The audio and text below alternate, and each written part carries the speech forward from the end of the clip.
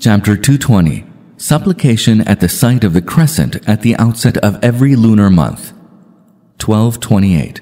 Talha bin Ubaidullah radiallahu anhu reported, At the sight of the new moon of the lunar month, the Prophet, peace be upon him, used to supplicate, O Allah, let this moon appear on us with security and iman, with safety and Islam.